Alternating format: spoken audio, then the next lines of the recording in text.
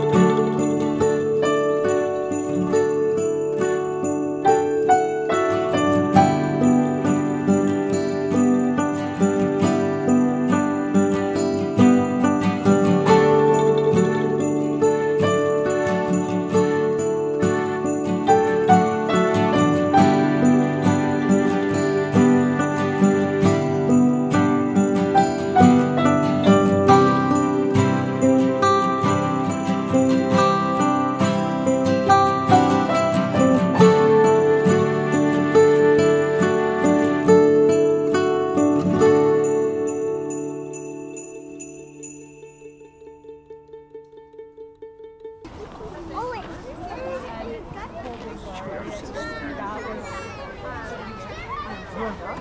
was wonderful.